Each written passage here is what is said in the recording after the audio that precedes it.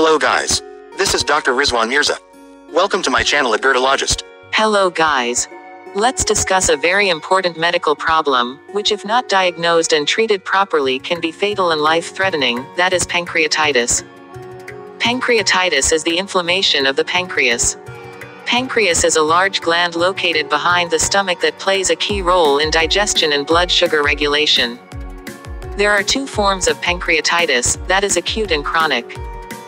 Acute pancreatitis is a sudden and severe inflammation, while chronic pancreatitis is a long-term condition characterized by persistent inflammation.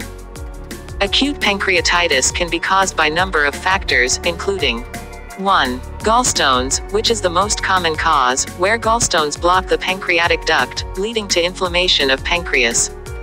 2. Excessive alcohol consumption can trigger inflammation. 3. Physical trauma or injury to the pancreas can lead to inflammation. 4. Certain medications may contribute to pancreatitis. Causes of chronic pancreatitis include 1. Long-term alcohol consumption. 2. Multiple episodes of acute inflammation can lead to chronic damage. 3. Cystic fibrosis, which is a genetic disorder affecting the pancreas. 4. Hereditary factors. Some individuals may have a genetic predisposition. Symptoms of pancreatitis include 1. Sudden and severe pain in the upper abdomen.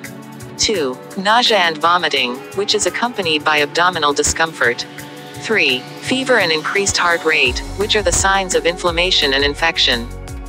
In cases of chronic pancreatitis, patient might experience persistent abdominal pain, which he will find to be radiating to the back. The patient will have weight loss and will be malnourished. And patient will develop diabetes, as the pancreas loses its ability to produce insulin. So how do we diagnose pancreatitis? The diagnosis of pancreatitis involves a combination of clinical evaluation, laboratory tests, and imaging studies, including 1. Serum amylase and lipase levels, Elevated levels of these enzymes in the blood are indicative of pancreatic inflammation. 2. Complete blood count, to check signs of infection or inflammation. 3. Liver function tests, to assess liver health and rule out other possible causes. 4. Alkaline phosphatase and gamma GT.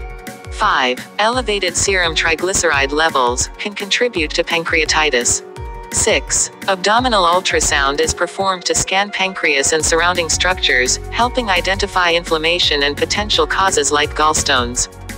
7. CT scan abdomen, which provides detailed images of the pancreas and surrounding areas, helping assess the severity and extent of inflammation. 8. MRI may be used to visualize the pancreas and ducts, particularly in cases where a CT scan is inconclusive.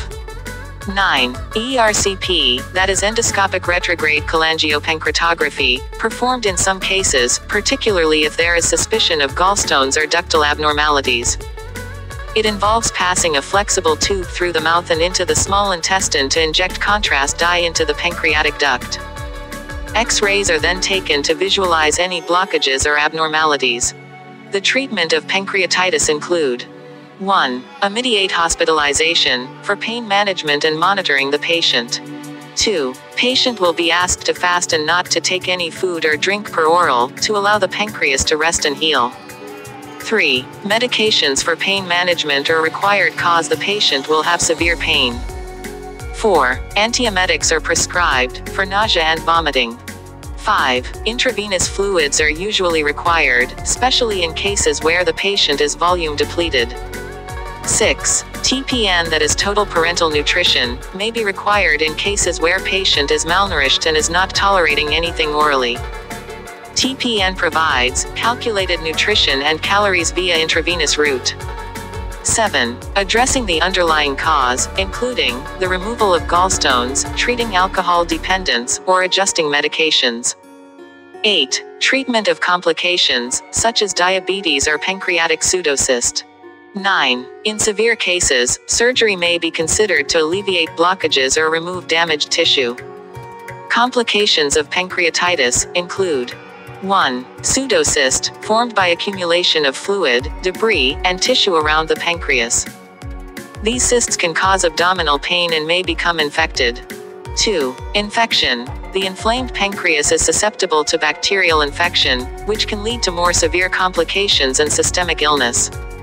3. Necrosis. Severe inflammation may cause tissue death in the pancreas, leading to the release of enzymes into the bloodstream, potentially causing multi-organ failure.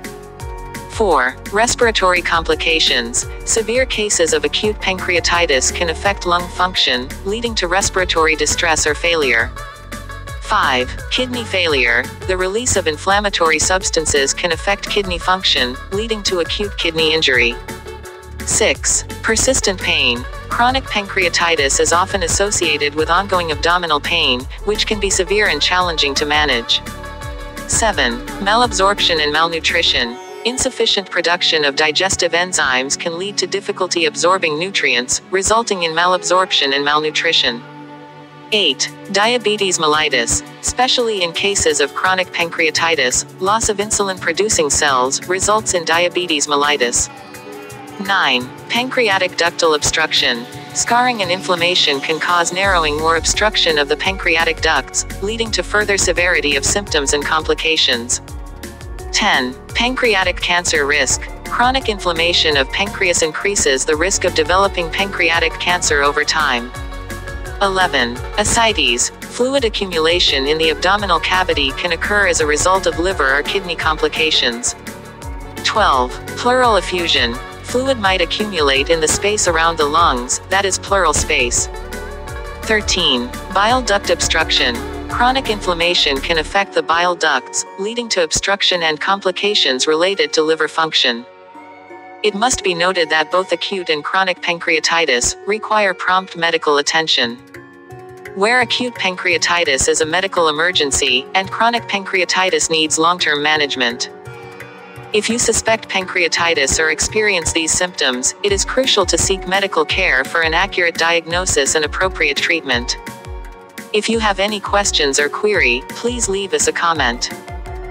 Subscribe to my channel at YouTube at Gurdalogist and press the bell icon for updated video. You can also follow my page at Facebook and follow me on Instagram. And if you like the video, don't forget to like and share the video.